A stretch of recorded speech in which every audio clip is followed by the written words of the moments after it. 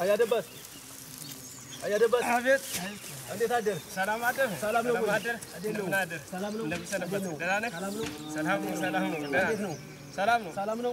አለ ዛሬ የመጣሁት ስለ ስንዴ አዘራር ለማሳየት ነው። ያው ስንዴ እንዴት እንደሚዘራ በመስመር እና ከዚያ ውጭ ደግሞ ከመስመር መስመር ምን ያህል እንደሚ- እንደሆነና በተለይ ዳፕ ምን ያህል በሄክታር እንደሚፈጅና ምን ያህል ምርጥ ዘርና ምን ያህል ዩሪያ እንደምትጠቀም ነው ዛሬ የመጣሁት እነዚህን ሰርቶ ማሳያዎችን ለማስራትና ከአንተ ሞዴል ሆነ ሌሎች ማስተማሪያ እንድታደርግና ለሌሎች ተሞክሮ እንድናስተላልፍ ነው በዋናነት የተገኘሁትኝ። ስለዚህ እዚህ እነዚህን አዘራሮች ወደ ተግባር እናያቸዋል፣ በተግባር ማለት ነው። እሺ ዛሬ የመጣኸው ስንዴ በመስመር ልዘራ ስል ነው ትክክል ነው የመጣኸው እኔም ለዛሬ ዘር ዝግጁ ሁኜ ልዘራ ነው የመጣሁት ስለዚህ ተማሳ ዝግጅት ነው የምንጀምረው። ስለዚህ የማሳ ዝግጅትህ መቼ ነው? የእርሻ ድግግሞሽ ከስንት እስከ ስንት ነው የምታ- የምታካሂደው? ያልከው ወይም እንደጠየቀኝ ማሳው እንደተነሳ ሰብሉ እንደተነሳ ጥበቱን ጠብቆ አንድ ጊዜ እናርሰዋለን ከዚያ ውጭ በየሳምንቱ በፈረቃ እየጠበቅን እናርሳለን የእርሻ ድግግሞሹ ከሶስት እስከ አምስት ድረስ እናርሳለን ይሄ የሚታየው ማሳ አምስተኛው የታረሰ ነው የእርሻ ድግግሞሹ ለምን ይጠቅማል ያው ተባዮችን እንቁላል ሲጥሉ በፀሐይ ሙቀት እያስመታን እንዲጠፉና እንዲሞቱ ለማድረግ ሁለተኛ አረምን እንዲከላከልልን ነው ደጋግሞም ለማረስ ጥቅሙ። ከዚያ በላይም ደግሞ ምርጥ ዘሮችንም ስንዘራቸው በወቅቱ ጠቃሚነት ስላለው ነው። ስለዚህ አንተ እንዳልከው ሁሉም አርሶ አደር መውሰድ ያለበት ከመጀመሪያ ደረጃ የስንዴ ማሳ መረጣ ማካሄድ አለብን። ውሃ የማያቋጥር መሆን አለበት። ከዛ በኋላ እርጥበቱ ሳይለቅ የእርሻ ማሳውን ማለስለስ አለብን ከሶስት አምስት ጊዜ። ስለዚህ የእርሻ ማለስለሱ ምንድነው ጥቅሙ? በውስጥ ያሉ ተባዮችን ለማጥፋትና አረሞችን ለማጥፋት ነው የሚያገለግል። ስለዚህ ዋናው ጥቅሙ ይህን ይመስላል። ስለዚህ አሁን ያቺ ያንተ ማሳ ናት። ከሶስት ከአምስት ጊዜ አርሳታል። ስለዚህ የግብዓት አጠቃቅምህ ምን እንደሚመስል ይታያል ማለት ነው። አዎ አሁን ምርጥ ዘር ለመስራት ለመዝራት ላሳይህ። ያው ከምትፈልገው ምርጥ ዘር ሁል እንጀምር። የምጠቀመው ያው ምርጥ ዘር ነው። ምርጥ ዘር የሚባለው ቀቀባ ነው ዝርያው። ሌሎች አርሶ አደሮችን ምርጥ ዘር መጠቀም አለባቸው። የዘር መጠን በአንድ ሄክታር አንድ ኩንታል ምርጥ ዘር እጠቀማለሁ። አሁን እቺ የምታያት መሬት ሁለት ገመድ ናት። ሁለት ገመድ መሬት አምሳ ኪሎ ግራም ዘር እጠቀምባታለሁ። ሌሎችም አርሶ አደሮች እንደ ማሳ ስፋት ጥበታቸው እየቀናነሱ ይጠቀማሉ። ምርጥ ዘር የምጠቀምበት ምክንያት በሽታን አንደኛ ይቋቋምልኛል፣ ሁለተኛ ምርትን ይጨምርልኛል ለማድረግ ሁልጊዜ እኔም በምርጥ ዘሮች ነው የምጠቀመው። አንተ እንዳልከው ያው የስንዴ ማሳችንን በምርጥ ዘር መሸፈን አለብን። ያው በሁለተኛ ነጥብ ሌሎች አርሶ አደሮችንም ያው በምርጥ ዘር መሸፈን አለባቸው። የአካባቢ ዘር እስከ 150 ኪሎ ግራም እየተጠቀሙ ስለሆነ ይህን 150 ኪሎ ግራም ምክንያቱም 150 ኪሎ ግራም ተተጠቀሙ በአካባቢ ዘር ተጠቀሙ ያው በበሽታ የመጠቃት እንትኑ ከፍተኛ ነው። ከዚያ ውጭ ምርትና ምርታማነትን አይጨምርልንም። ምርጥ ዘር ከተጠቀምን ግን ያው በበሽታ አይጠቃም፣ ምርትና ምርታማነትም ይጨምርልናል። ቀጣይ ደግሞ የማዳበሪያ አጠቃቅማችንን እንየው።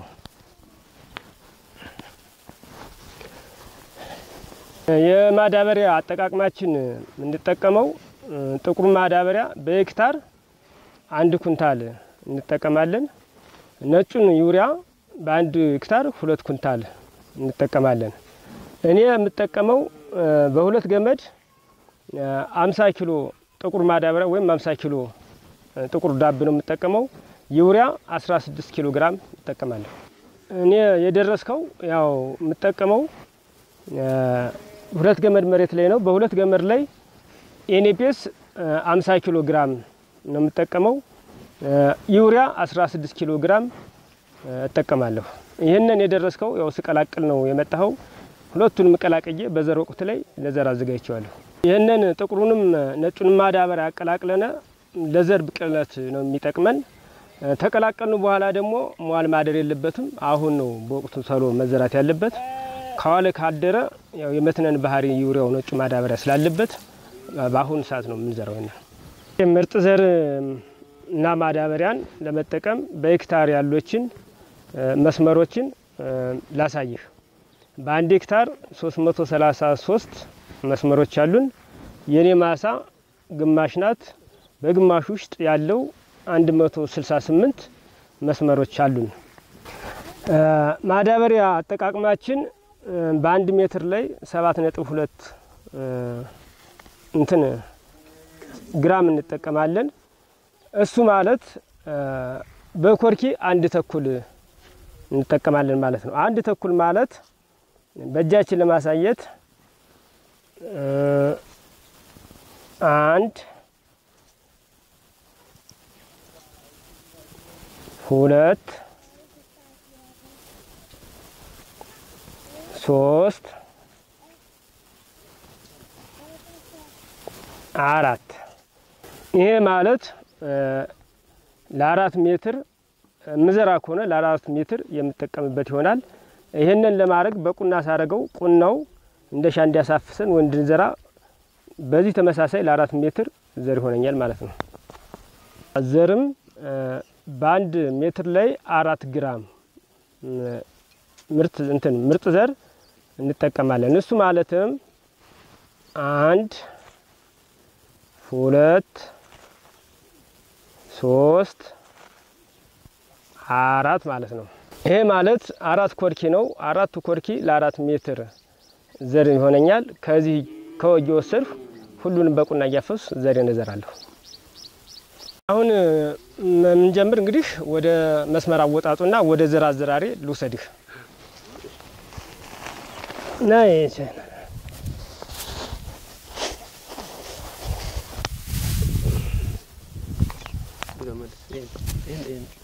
ተጨመርበት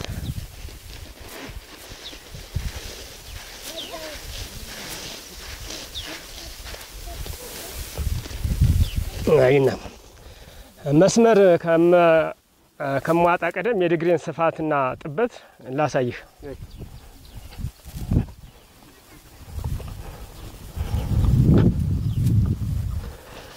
ስንዴ በመስመር ስዘራ የድግሩ ስፋት 30 ሳንቲሜትር መሆኑን ላሳይህ ወይም በስንዝር ሁለት ስንዝር መለካት ነው። ሌላ ጥልቀቱ ሰባት ሳንቲሜትር ነው። አሁን ደግሞ በሰላሳ ሳንቲሜትር ቦዩን ቀድጄ ላሳይህና ልጆችና እኔ ያው በተቀናጀ ስራ ነው የምንሰራ። አንድ ጊዜ ላሳይና ልመለስ። ጅራፍና ቀብለኝ ቆይ ወረታች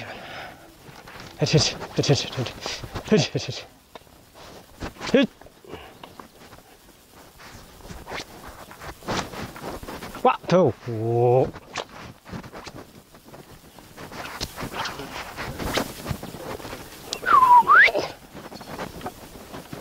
ላሳይህ አሁን።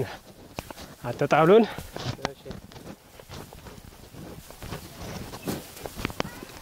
ዘሩን። አሁን ቅድም ሳሳይህ በሰባት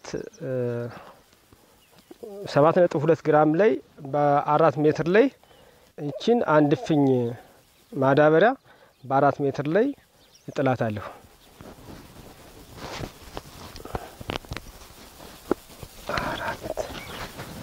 ይሄ ያው እንደምታየው አንድ እፍኝ በአራት ሜትር ላይ ጥያለሁ።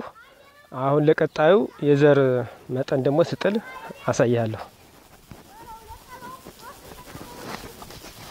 እንካ ዘር ቀይረኝ። ይህ ዘር ደግሞ አራት ኮርኪ ነው። ይሄ ለአራት ሜትር ነው የምጠቀምበት። ስጠቀምበትም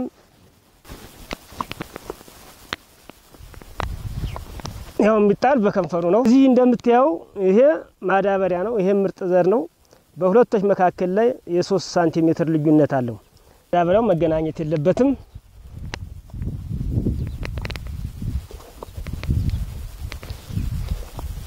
በዚህ መልኩ ልጆች እየጣሉ ይከተሉኛል። እኔ ወደ እርሻ ያዳለሁ። ጅራፍ ነው ብላ ጅራፉን ሩጥ አምጣልኝ።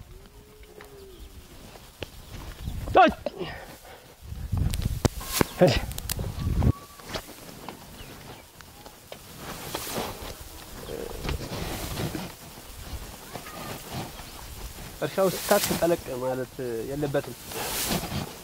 አዎ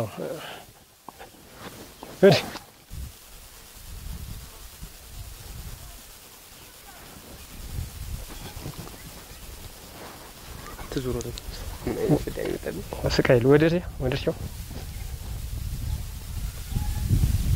ኧረ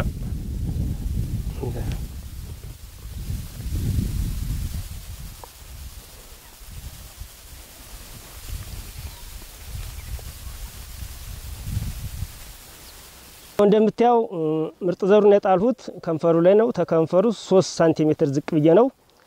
ምርጥ ማዳበሪያውን የጣልሁት ሰባት ሳንቲሜትር ላይ ነው። እንዳይተን በዚያኛው በኩል እያረሱ መጣ። ይህንን እያለበሰው ምርጥ ዘሩን ይመጣል ማለት ነው።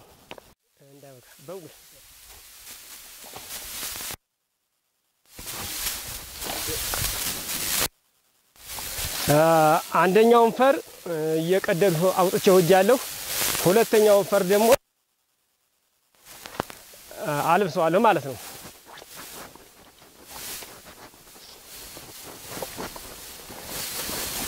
ይህ እያለበሱት የመደው ፈር ነው። ተው እንደምታየው ይህንን እያለበስ ነው የሚመጣ። ከማለብሰው ውጭ ደግሞ ልጆች ከኋላ እየጣሉ ይመጣሉ። መጨረሻ ላይ እንደዚህ እያረግነ እያረስነ እንደፍናለን ማለት ነው። አሁን ልጆች ከኋላ ይጥላሉ። ባሳየኋቸው ነገር ፈሰሱ ቦይ ሆኖ ነው የሚወጣ። ማዳበሪያውና ዘሩ እንዳይተን ያው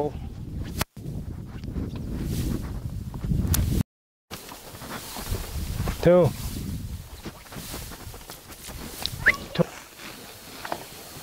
ሻፈነ እሱ ላይ ነው እኔ ልሄድላቸው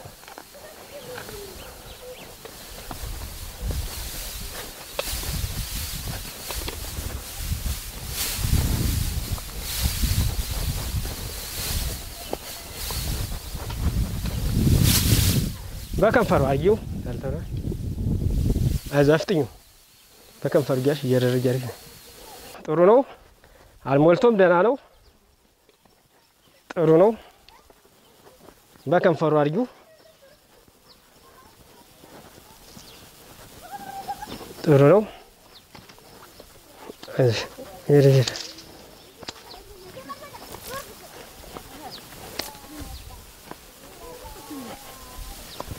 ጥሩ ነው። አድርሽው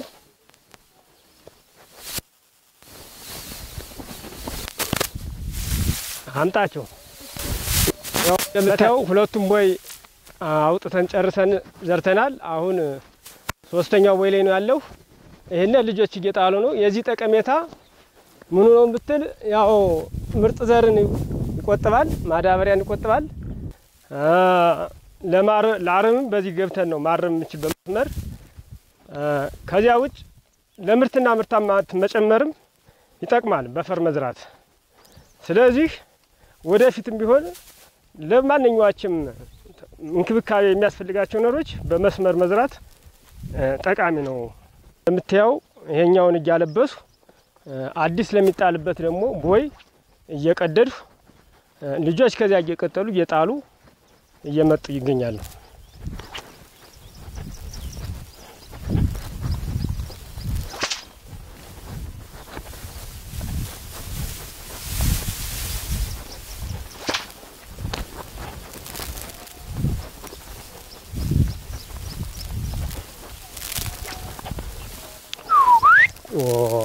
بتاعته أوه.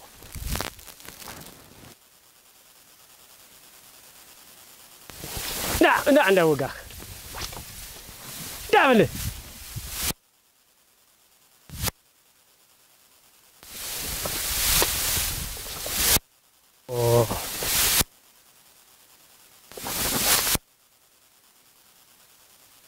ازواج قومت طرب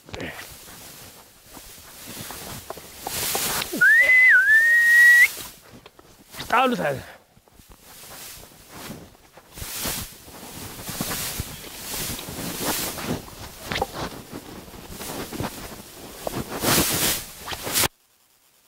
እየዘራ እንገኛለን። እድ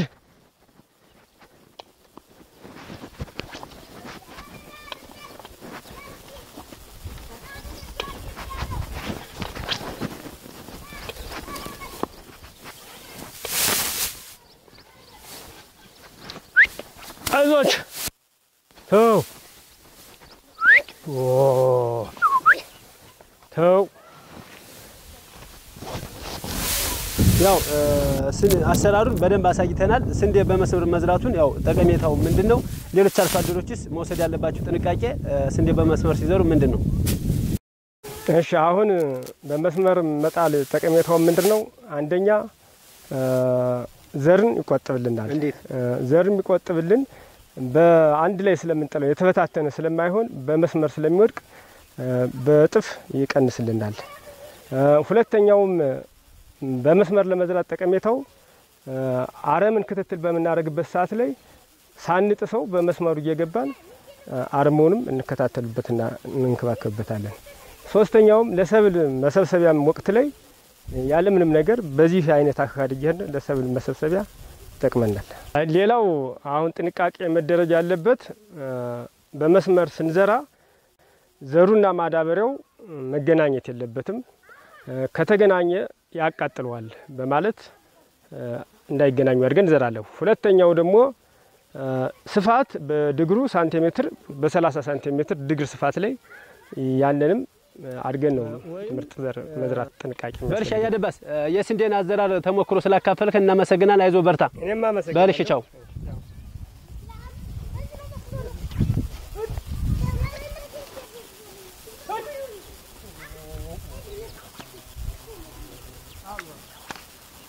አሁን ባያችሁት ያው የስንዴ አዘራርና የማዳበሪያ አጠቃቅም ነው። ያው ሁሉም አርሶ አደር መውሰድ ያለበት ዋና ዋና ተግባሮች ያው አንደኛ የእርሻ ስራ እንቅስቃሴ ከሶስት እስከ አምስት ጊዜ መታረስ አለበት። ሁለተኛ የተጣራ ምርጥ ዘር መጠቀም አለብን። በሄክታር አንድ ኩንታል መጠቀም አለብን። ሶስተኛ ያው ግብአት መጠቀም አለብን። NPS NPS በሄክታር አንድ ኩንታል መጠቀም አለብን። ዩሪያ በሄክታር ሁለት ኩንታል መጠቀም አለብን። ያው በዘር ጊዜ 67ቱን ኪሎ ግራም በሄክታር ከዳፕ ቀላቅለን መጠቀም አለብን። 133 ኪሎ ግራም ደግሞ ከታረመ በኋላ ከ35 ከ40 ቀን ዩሪያውን በመስመር ማድረግ አለብን አንዴ ማለት ነው። በአራተኛ ደረጃ ያው የማዳበሪያ ጥልቀት ከ7 እስከ 10 ሴንቲሜትር መሆን አለበት። የምርጥ ዘር ጥልቀት ደግሞ ከ3 እስከ 5 ሴንቲሜትር መሆን አለበት። ከዚያ ባለፈ ያው ከመስመር መስመር ያለው 30 ሴንቲሜትር መሆን አለበት። ከዚህ በመቀጠል ማስተላለፈው ሁሉም አርሶ አደር በምክር ሀሳቡና በባለሙያ ድጋፍ መሰረት እንዲጠቀም ማድረግ አለብን። ከዛ በበለጠ ያው ሁሉም አርሶ አደር በሰማኒያ 28 በግብርና መረጃ እየደወለ መጠቀም ይቻላል። አመሰግናለሁ።